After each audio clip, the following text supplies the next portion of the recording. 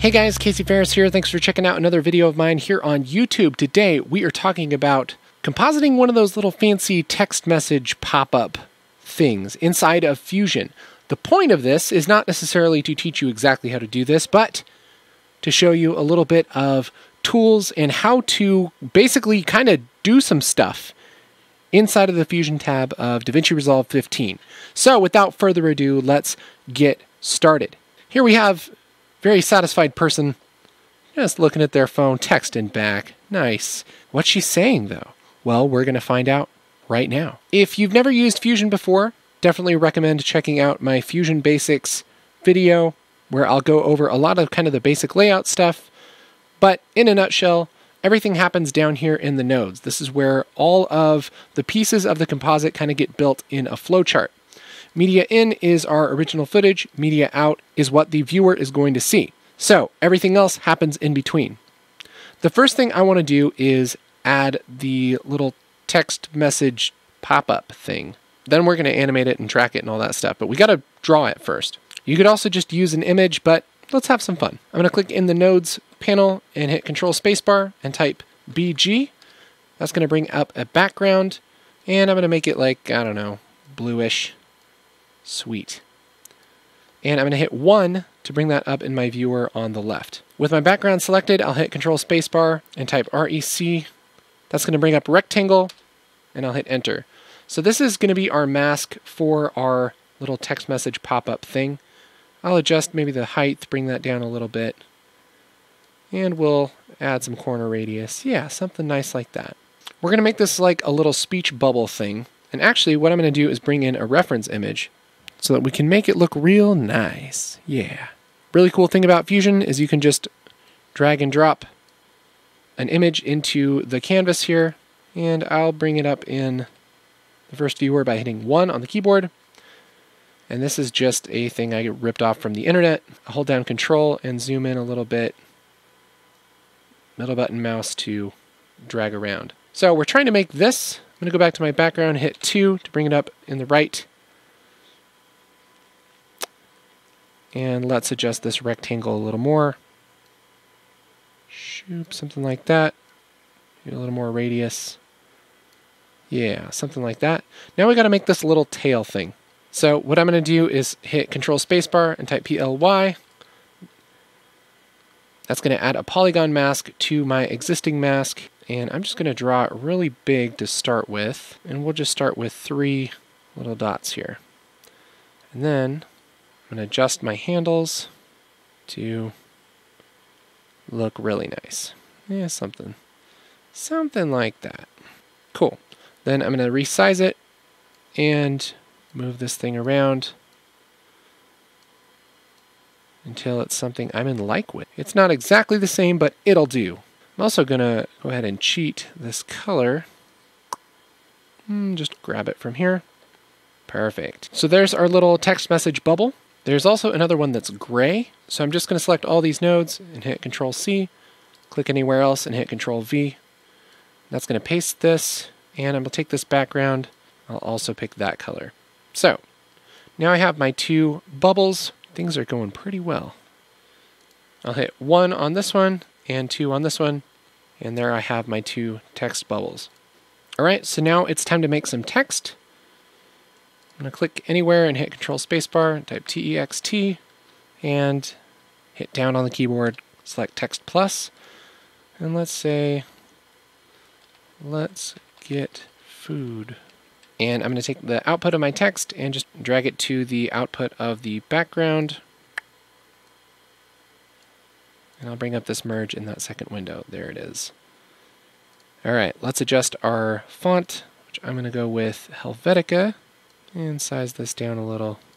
And I'm going to copy and paste that text. It's going to be the blue one. And I'm going to drag my text over my background on my gray one. Bring that up in the left viewer. I'm going to adjust my text color to something like dark, dark gray. And maybe not so dark. Those are okay to start out with. We're going to do a little bit of fanciness in just a little bit, but that's good for a start. I'm also going to delete my reference image because I don't need it. And I'm just going to start by merging my gray bubble over my original footage, and I'm going to bring up media out in the second viewer. So now this is just composited over the image, but it's not really placed right. We could adjust that in the merge, but because we're going to do some fanciness in a bit, I'm just going to add a transform node before this merge 3.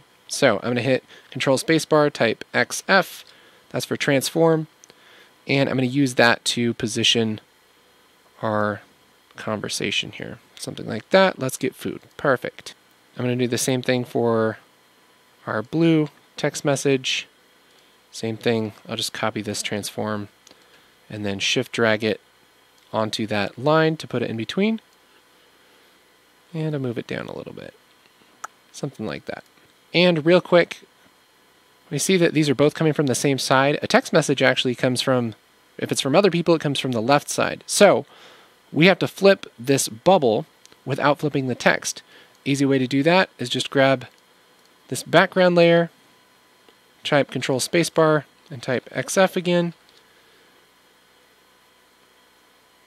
This puts a transform node in between my background, which is the gray bubble, and the text. That means it's only going to affect the gray bubble and not the text. And I'll just go over here to the inspector and just hit flip. That's going to flip that over so it comes from the other side. So now we have all of this built out. Two things we need to do is probably track this to the footage so it kind of follows the camera. And the other thing is it needs to animate on. So let's start by tracking it. I'm going to bring up my media in in my second viewer. And with my media in selected, I'm going to hit Control Spacebar and type track. That's going to bring up tracker, planar tracker, and camera tracker. I'm just going to grab planar tracker and hit add. That's going to put a planar tracker node right after my media in. And now it's going to want me to drag an area to track. So let's see what moves around here. This lady's moving around. Her background moves along with the camera. We might be able to get away with just tracking the background.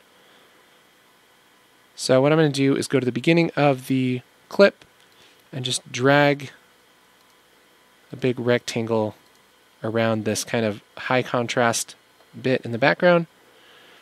For tracker, I'm going to say hybrid point area, motion type. Let's just do translation. I don't need anything else. I'm going to set my reference time and I'm going to hit start. I lost the track here at this frame, so I'm just going to back up a little bit and just keep going. There we go. So there's a pretty good track. Follows the basic movement of the camera. And now with my planar tracker selected, I'm going to hit Create Planar Transform. That's going to make a node just out in the middle of nowhere. And this has all our movement information in it. I'm going to shift drag this planar tracker out of the way just so it doesn't have to think about it anymore. It's not connected to anything. First of all, I'm going to hit Control C, click somewhere and hit Control V. And now I can just shift drag these onto the connections in between the transform and the merge. Now, let's bring up media out in our second viewer and see how it goes. There we go. So it's following the motion of the camera. You could also track it to the phone. I feel like she's just shaking the phone around a lot, so this kind of gets the job done without being too wild. Okay, so now we're going to animate these on, and we're just going to do that by animating these transforms. First thing I'm going to do is grab this pivot and actually move this shoop move the pivot right there at the end of the little tail and then just kind of adjust for that. I'm going to do the same thing for the blue.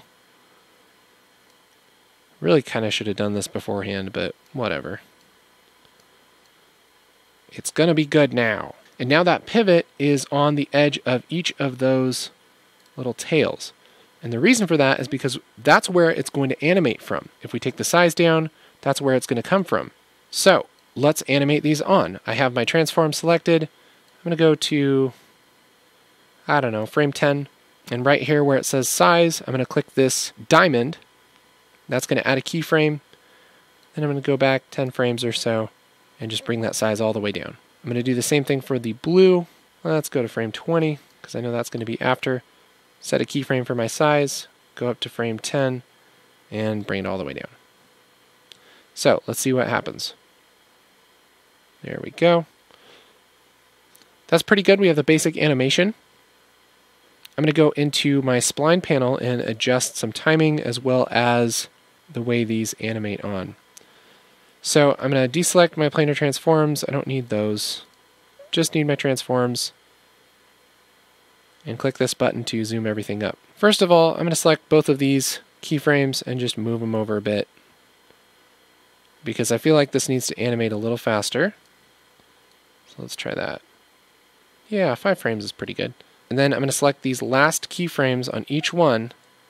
What this is, is the transform 1 animation, which goes from 0 to 0.6 or so, and the other one from 0 to 0.6 or so. I'm going to select these last keyframes and hit F for flatten, and that's going to flatten out these tangents so that when it zooms up, it kind of eases in. So now that we have those animating, let's go back to our keyframes and I'm just going to adjust the timing a little bit. Select those and move them down a little bit. Something like that, maybe. Let's see how that looks. Let's get food. I love you. Let's let her do that. Let's get food. I love you. Ah. She loves him. There you go. That's pretty much our whole composite. Again, this is kind of one of those things that looks really scary, but if you build it kind of piece by piece, it makes a lot of sense. Let's uh, clean up everything a little bit here. These right here, this is just our background with the masks on it that makes the little speech bubble. This is the gray one, and this is the blue one. This gray one has a transform node on it to flip it, then it's merged under some text. That is transformed and scaled and kind of moved to the side. This is also the node that animates it. And then we have the tracking data applied to it, and that's merged over our footage. And the exact same thing is happening with the blue one. It's being merged under the text, it's being transformed and animated and then it's being added to the tracking information and merged over those two layers. And that's what gets rendered. So there we go. There's our finished composite. I hope that makes sense to you. If you have any questions or comments, leave them in the comments below. If you like this, hit like. And for more videos on the Fusion tab in Resolve, color grading, all sorts of post-production things, make sure to hit that subscribe button. My name again is Casey Faris. I will catch you next time.